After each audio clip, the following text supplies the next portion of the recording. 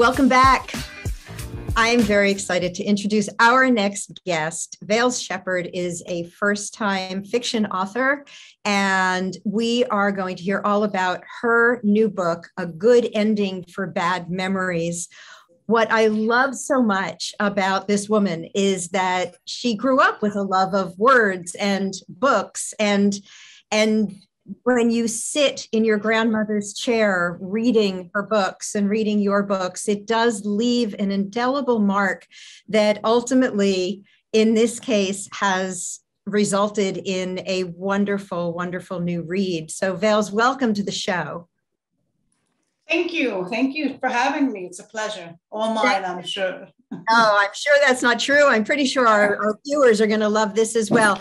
So you're also a founding member of the Washington Independent Review of Books. I mean, you really have spent a lot of time in the world of books. So what what brought about this most recent I want to write my own book and by the way, I'd like it to be fiction. Uh, truthfully, I have written my entire life. So um, this is the first book published. It's certainly not the first book I've written, and I always preferred fiction. Um, I have a, an imagination that uh, is broad and always at, always at work. and so I wanted to lasso it and put it down on paper this time. And a good ending for bad memories, I think, is a good representation for the first time. That, the other books are, are unlike it, but um, it was a pleasure to write. So I think it was a good thing to share first. Tell us a little bit about your background and what brought you to this. I know I love the grandmother's reading chair story, but I know there's so much more. Well, I am a second generation Washingtonian, and I've lived in, um, you know, I, have stayed here through high school and then went away to college, first to New Orleans because um, my family had we had relatives there and they took us when we were young and i fell in love and i thought i only want to i want to live in louisiana. I want to live in new orleans. And that lasted for about two years. Then i moved to paris. Then i moved to new york. And um, i like living in different cities. I prefer walking cities. Um, when i finally came back to washington d.c to live it wasn't it was unexpected. Like i thought i would retire in washington because i think it's a great city I didn't expect to live here, you know, having married and children, but that's what brought me back. I joined a writing group and we were together for a while. It was um, about 12 members. And then the Washington Post decided that it was no longer going to publish Book World. And one of the members of the writing group, David Stewart, called on as many of us as he could, like, we've got to do something about this. If they won't publish, you know, a, a, a weekly or anything about books, then we'll do it ourselves. And that's how it began. That's wonderful. And so you've really been involved in the process, but what about when you actually sat down to write this book and you say the story just flowed? Did you do you have a process that you were using? Um, sure. So the first thing I must say that what stayed with me and what sort of was the germination of this book was an article that I read many, many years ago um, in a daily newspaper, and it was written by a woman who actually suffered from multiple dis- multiple personality disorder, and she wrote about her life, pure and simple, just what the day to day life was like for someone like her, and it was one of the most fascinating things I ever read, and that stayed with me, and I knew that, you know, somehow, you know, I want to be attached to this in a way, and so. I, I did the research and I happened to grow up in a neighborhood where two spinster sisters lived and the one thing that we knew about them was that their father had been um, one of the first African American attaches to be assigned abroad. And we just get glimpses of them. And, and I use my imagination to imagine the rest of them and to imagine their lives. And so, in a sense, it was bringing together things that, that interested me. Um, in terms of the process, I, I don't know why, even though I grew up in Washington, D.C., I feel like I must be a farmer's daughter because I'm up at the crack of dawn. And those are probably my most useful hours. I'm definitely a morning person. And one of the things that, I mean, discipline was hard fought for me.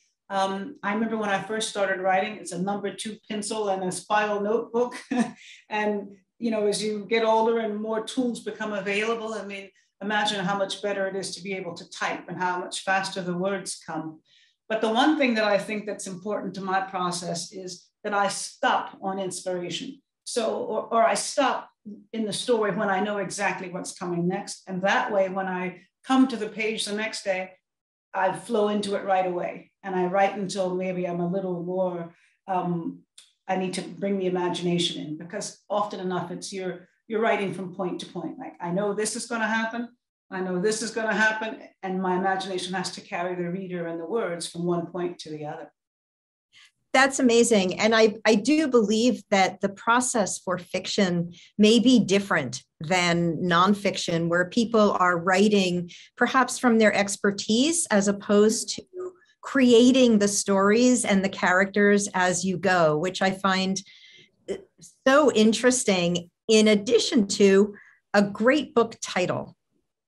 I really, when I first saw your title, I thought, there is not a person on the planet who wouldn't like to be able to have ending for our bad memories. So tell us a little bit more about the story and, and how you came to the title. Um, one of the things that, that goes on in the story and it happens to each of the women's successive personalities, and they always appear in the same order, is she doesn't know what happened to her. She doesn't know what's the cause of her original trauma that that causes a multiple personality disorder. And you know, nowadays, some some um, people do not believe it it exists, and others are, are, are sure that it actually has. When I did a lot of the research, I never I spoke to some physicians or psychiatrists that spoke to patients, but I never met one. And you know, it's very real for them. And what they say is that you know you invent these other characters to help you deal with the trauma or the things that happen to you in your life. You need a little help um, uh, processing. And so this character is, is searching to try to understand how she is as she is. And in order for her to do that, she sort of rifles through the past. And it's like everyone else, you're a family of four, there's an event in the family, and you all remember it differently, just slightly differently. Or each of us have seminal events that make um, that, that make us up, or that's what we are, the result of our memories. And if you have a memory that's unreliable, then how are you what you are? And so that's what I was playing with the entire time. And um, and each of them are different because they see things differently. And each of them has a different um, memory that affects the rest of their lives. And so I was bringing those all together. And the one thing that she would always do is make her children listen. And I don't, and, and she never says that, or the character never reveals whether or not she'd hope the children were going to help her by remembering all the things that, that she tells them. But she would always call them into the room, like, oh, quick, you know, here, here's a memory. I want to tell you something. And um, so that's the way that the story progresses. And I, I, can't be a spoiler here and tell you what happens, but no, I don't. I don't want you to I want I want our viewers to rush out and buy your book for sure. Absolutely. But I also wonder if, in creating these characters and the story, do you have a favorite character? I just I wonder if you kind of in love with one more than another over the time that you're creating. Uh, well, you know, I love the mother because there are so many of her. So it was, you know, it was lots of material, lots of fodder. But one of my other favorite characters is Celsi. And Celsi is the great grandmother in the story. Celsi was a slave. Celsi also suffered from multiple personality disorder. And her great granddaughter knew that. And part of it was like, uh, if Celsi healed or, or, eventually became whole, could that happen to her as well? And the thing that I like about Celsi is that she's a slave. And how in the world, you know, I've been asked before, how could you create a slave with multiple personality disorder? How in the world did you, was there enough of a, of, you know, a person? Because we usually just think of slaves as slaves and there's not any um, sort of um, entry into their personalities and things like that. And so it was wonderful to imagine her and to see what it would be like to to be a slave and to also have this other life and to be recognized in town because the town folks, because she grew up in a small town, they recognized that um, something was wrong and they used to call her two for the price of one. So I, it makes so much sense when you talk about people who have gone through trauma that we would have to find a different place in ourselves. And certainly the whole experience of slavery was was a very um, logical place for that to happen. So the fact that you have two women who are bringing a similar outcome, but from very different stories, different perspectives, Mhm. is really is just beautiful. So, what have you heard? What's the feedback been on the book? What have you heard from readers?